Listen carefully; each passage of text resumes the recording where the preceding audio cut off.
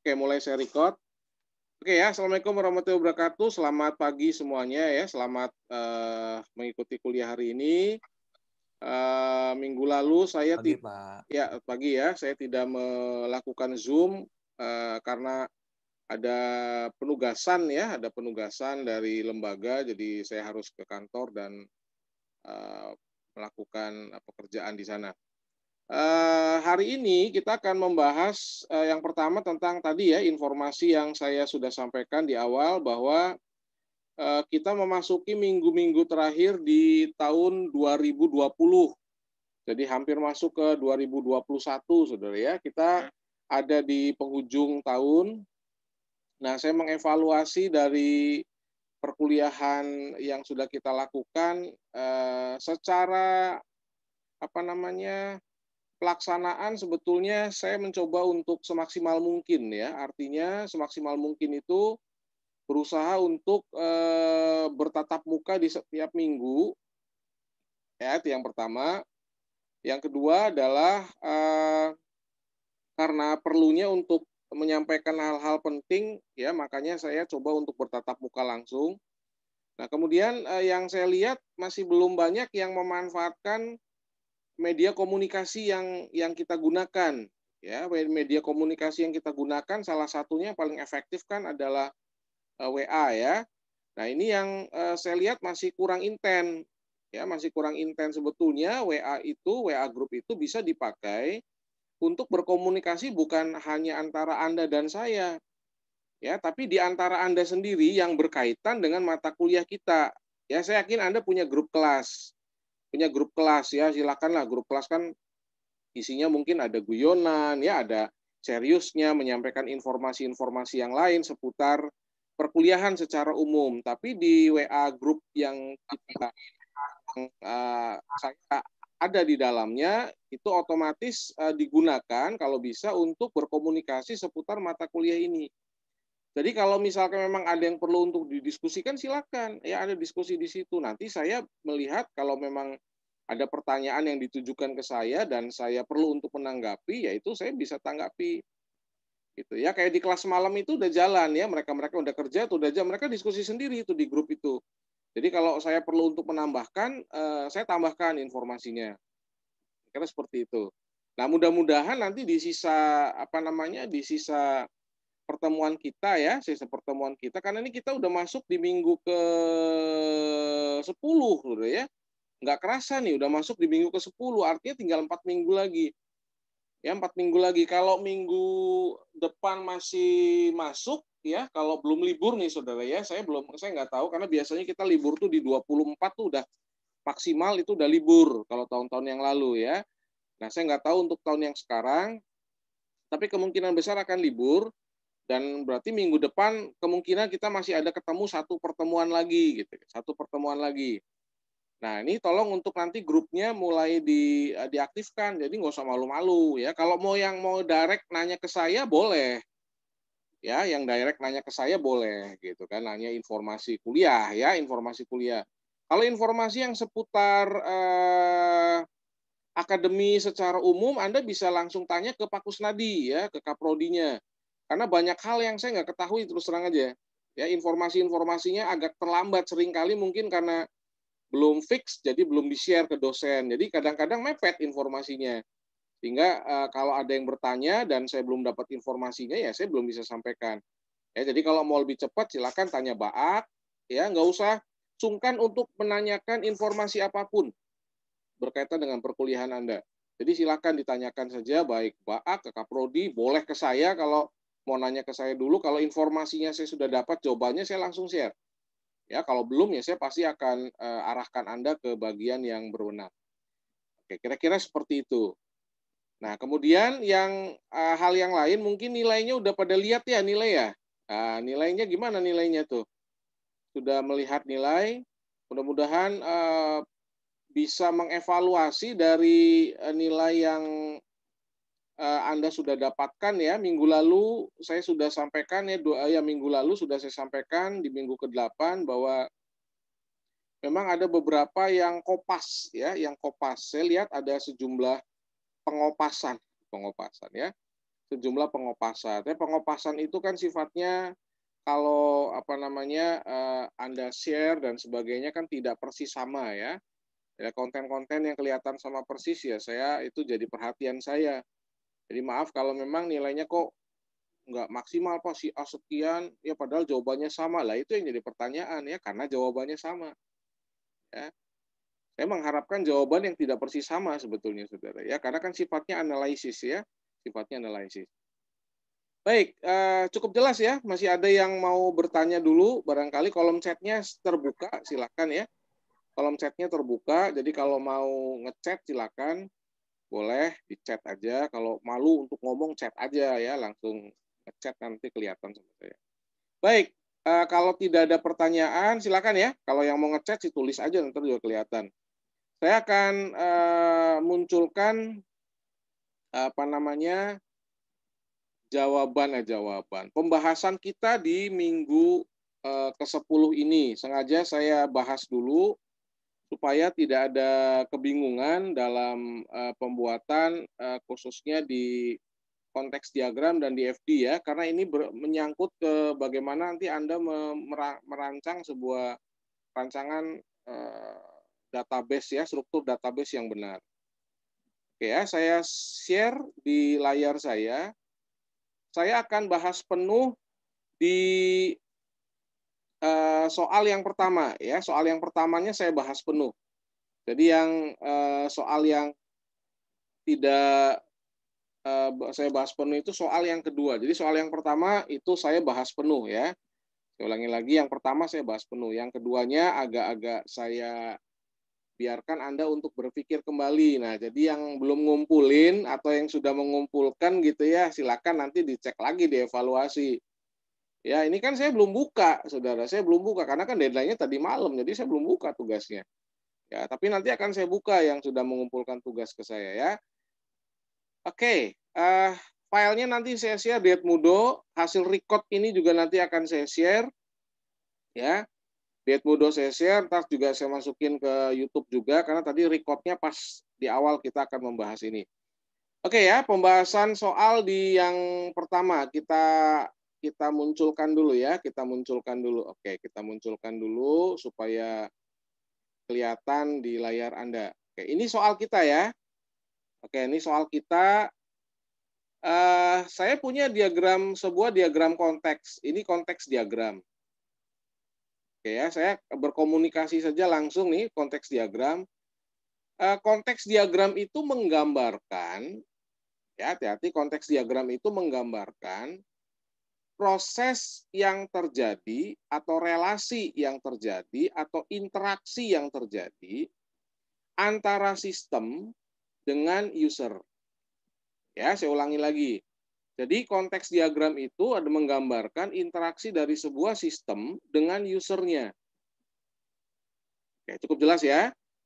Nah, karena menggambarkan interaksi antara user dengan sistemnya, kita nggak bisa langsung membuat dalam bentuk detailnya.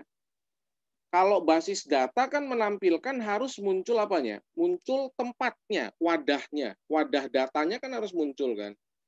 Wadah data itu berarti apa? Berarti sebuah database dengan banyak tabel. Betul ya, kita sudah belajar prinsip itu kan di ERD ya. Nah, berdasarkan itu, sekarang kita udah langsung ke proses nih, kita lihat. Jadi kalau ada case tadi, ada studi kasus sebuah sebuah apa namanya eh, informasi bisnis yang kita ingin buat aplikasinya, lah kita nih pengen bikin database-nya, tujuannya sih itu. Bukan bikin programnya enggak kita nggak membuat programnya. Program itu bisa dibuat oleh siapa saja, oleh programmer mana pun, sebatas desain dan informasi bisnisnya sudah kelihatan. Gitu ya. Oke. Nah, sekarang dalam diagram konteks yang Anda lihat, ini kan judulnya jelas nih. Judulnya adalah Sistem Informasi Penjualan ya Cendramata di CV Serasan Onyx Sidoarjo. Wah, ini judulnya Kemudian Anda melihatnya ini ada berapa user, ada berapa entitas yang terlibat di dalamnya. Ini ada dua, oke, ada customer dan ada admin. Lalu ya, ada customer dan ada admin. Artinya, dari bentuk diagram konteks ini, yang menggunakan aplikasi ini hanya dua entitas. Hanya dua entitas. Tidak boleh ada muncul entitas atau user yang ujuk-ujuk muncul di luar ini. Gitu. Ngerti ya? Jadi kalau misalkan tiba-tiba muncul bagian gudang, loh, ya pimpinan, Loh, kok tiba-tiba muncul? Padahal di diagram konteksnya nggak ada. Lah, itu yang salah. Nanti dalam DFD-nya. Nah, namanya saja DFD. Kalau konteks diagram kan melihat secara kontekstual. Yang dilakukan oleh customer ini apa, yang dilakukan oleh admin ini apa. Betul ya? Oke, sekarang kita coba cek dulu deh. Yang dilakukan oleh customer itu apa ya? Customer, oke, saya nanya ke Susan. San, ini customer melakukan apa, Susan? Susan. Susan, nggak dengar saya? Oke, yang mau jawab deh, customernya ngapain aja nih terhadap sistem? Saya, Pak. Oke, silakan. Uh, melakukan pembelian dan pembayaran, Pak. Melakukan pembelian dan pembayaran. Melakukan pembelian dan pembayarannya caranya bagaimana kalau Anda melihat dari konteks ini? Uh, berarti uh, nggak nggak secara langsung dalam arti uh, dalam sebuah sistem gitu pak? Mm -mm. Pembali, pembelian dan pembayarannya. Melalui sistem ya? Iya melalui Oke, sistem. melalui sistem. Kenapa karena dia tidak berinteraksi dengan user lain. Dia berinteraksinya dengan sistem. Jadi jelas ini dia menggunakan sistem. Nah, masalahnya apakah online atau desktop dia ngetik di komputernya di itu itu sih teknis kita tidak gambarkan itu. Ya, tapi konteksnya jelas. Oke. Yang dilakukan oleh customer terhadap sistem adalah dia melakukan pembelian dan pembayaran. Dari proses pembelian dan pembayaran itu, sistem responnya apa? Memberikan respon apa? Apa respon dari sistem kepada customer? Silakan yang lain yang jawab. Ayo, biar ada interaksi. Apa respon yang diberikan oleh sistem terhadap customer? Silakan. Izin menjawab, Pak. Silakan. Laporan barang, Pak, mungkin. Laporan barang. Laporan barang. Sistem terhadap customer itu ya, memberikan apa? Memberikan informasi apa? Ayo. Detail produk, Pak. Ini kan kelihatan ini nih detail produk sama nota, total pemesanan, nota pembayaran. Jadi kalau Anda melihat ya customer itu ada panah yang masuk ke sistem, ada panah yang keluar dari sistem. Sehingga hmm. nanti di dalam DFD-nya itu nggak boleh ujuk-ujuk ada apa ini panahnya masuknya satu, gitu ya ujuk-ujuk panahnya masuknya tiga ke dalam sistem lah itu yang salah dalam DFD. Jadi harus harus sesuai dengan konteks diagram di awalnya. Ya, cukup jelas ya. Oke, jadi saya ulangi Mas, lagi, Pak. yang masuk ke sistem itu ada pembelian dan pembayaran. Artinya dalam satu kali proses pembelian dan pembayaran tuh ya dalam satu transaksi beli harus langsung bayar gitu loh logikanya. Nah, informasi yang keluar adalah detail produk. Informasi detail produk. Kalau kita melakukan pembelian kan Anda harus lihat produknya. Dilihat dulu detail produknya. Pak, kalau pembelian bisa di-cancel nggak? Ya bisa otomatis. Namanya juga pembelian. Kalau belum bayar kan cancel logikanya. Makanya pembelian, pembayaran. Oke, Nah, informasi yang lainnya apa? Ini adalah informasi kalau sudah melakukan pembayaran adalah nota total pemesanan, nota pembayaran. Sama kayak Anda belanja online lah gitu. Kira-kira kalau Anda belanja online itu kira-kira bagaimana ya? Kalau Anda belanja online. Nah, itu kan jelas ya. Oke, next lagi ya, next lagi.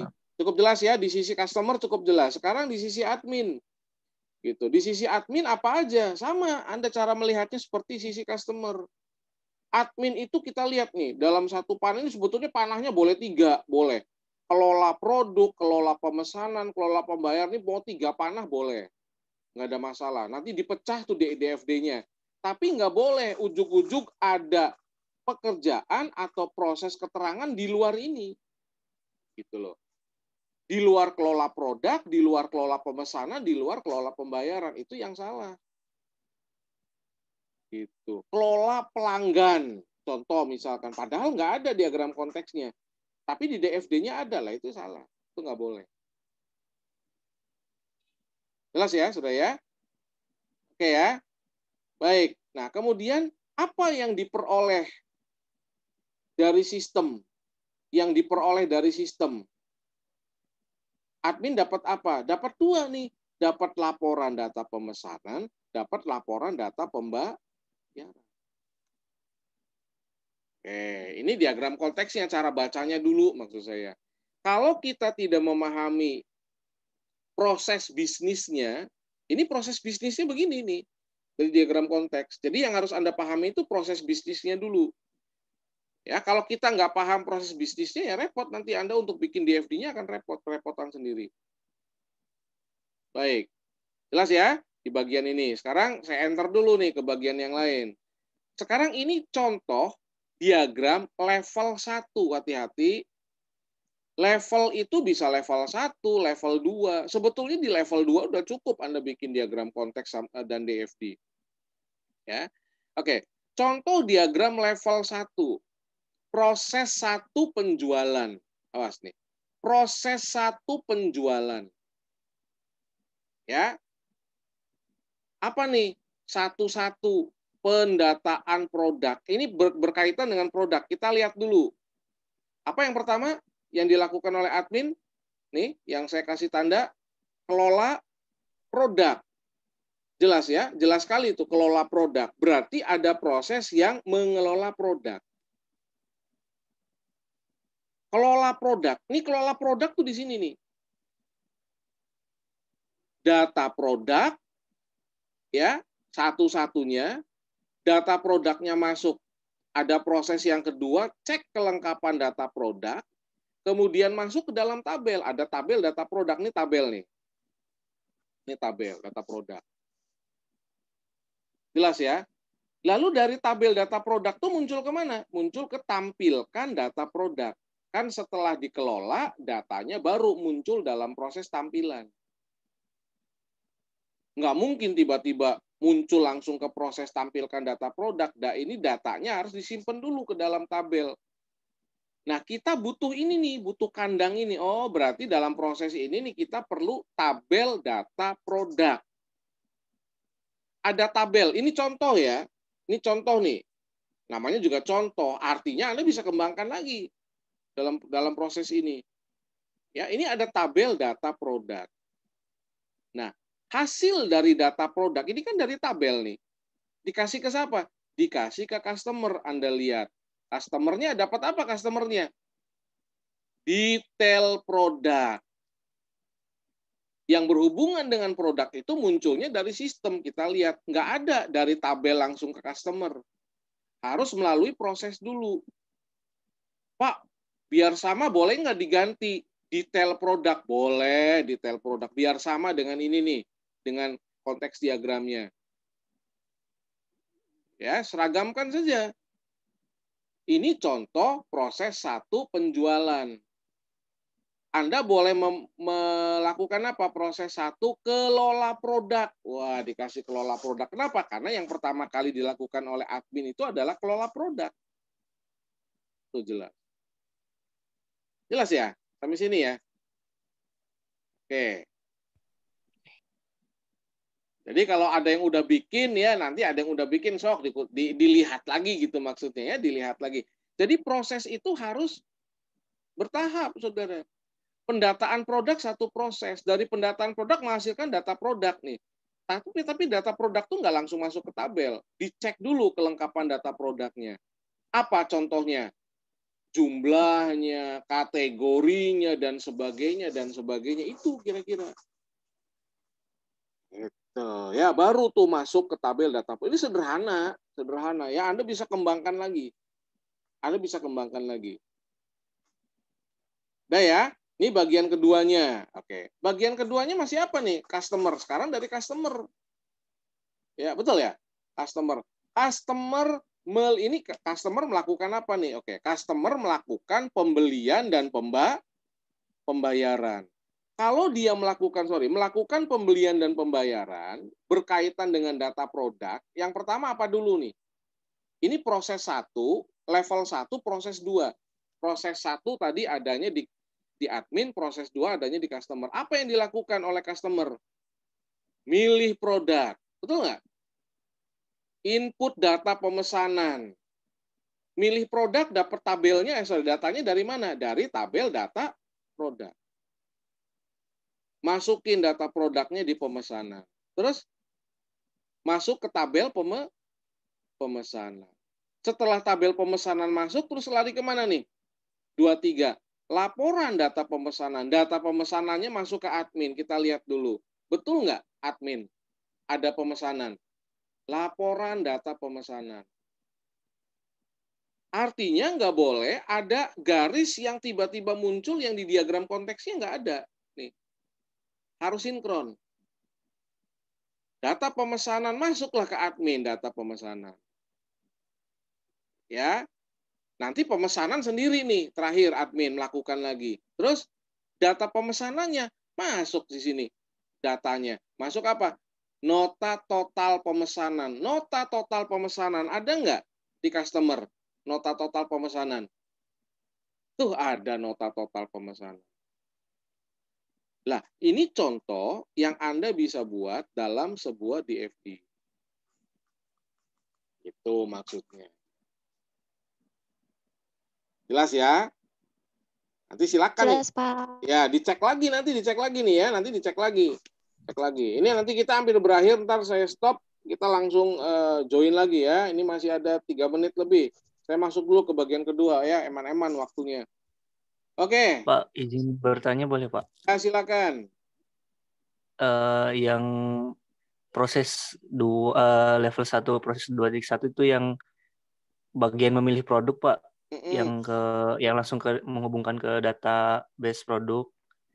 Nah itu eh, enggak panahnya ke kanan dulu pak atau dua arah gitu pak? Sebetulnya gini ya, sebetulnya ada yang memberikan panah dua arah, memberikan panah dua arah boleh ya. Cuma biasanya gini, biasanya kalau yang panah dua arah tuh seakan-akan dia bisa ngedit ke tabel nantinya, gitu, bisa mengupdate ini gitu ya. Padahal yang namanya kita memilih data produk, data produk itu hanya memberikan informasi sifatnya gitu, tidak diedit. Tapi kadang-kadang ada yang panahnya dua, panah kiri kanan sebetulnya sih nggak masalah. Kalau bagi saya nggak masalah gitu kan. Kan ini kan memproses pak, gitu kan. Tapi yang namanya milih produk tuh sebetulnya tidak mengubah apa pun. Milih produk tuh. Ya, tidak mengubah apa pun. Tapi kalau Anda berasumsi bahwa dalam tabel data produk itu ada stok barang, maka panahnya harus dua. Kenapa? Karena mengubah stok. Jelas ya, kalau di, di inventory itu kayak gitu, kalau di inventory. Tapi kalau ini nggak mengubah stok ya Anda nggak perlu, nggak perlu pakai panah ke kanannya. Tapi kalau ini pakai panahnya kiri kanan boleh, nggak ada masalah. Karena apa? Karena ada proses. Kan milih produk Pak, masuk dulu boleh, nggak apa-apa ya nggak ada masalah Oke ya. Berarti ya? panah kanan itu digunakan kalau misalkan database-nya berubah ya Pak? Berubah, ada yang berubah di dalam tabel itu. Kalau hanya kita melihat aja sebetulnya nggak perlu. Sebetulnya nggak perlu. Nggak harus gitu ya. Tapi kalau ada yang berubah di dalamnya, Anda mengelola tuh, oh bisa ngedit data pelanggan, misalkan si admin itu panahnya harus dua. Panahnya harus dua. Boleh satu ini dua arah, boleh satu-satu. Gitu. Panah masuk keluar, boleh dipisah. Gak ada masalah sebetulnya ya untuk meringkas saja, meringkas si panahnya itu. Nah nanti untuk kerapihan ya saudara ya untuk kerapihan, tolong diedit ya supaya istilahnya sama ya. Jadi kalau tadi ada detail produk, ya nanti di customernya detail produk, gitu-gitu ya. Itu dirapi-rapihin nih sama anda ya supaya lebih lebih lebih rapi gitu tampilannya. Silakan dikotak-atik. Oke kita akan stop stop share dulu ya uh, saya akan eh nanti kita masuk lagi masuk lagi di apa namanya di uh, sesi yang kedua ya di sesi yang kedua. Oke, saya break dulu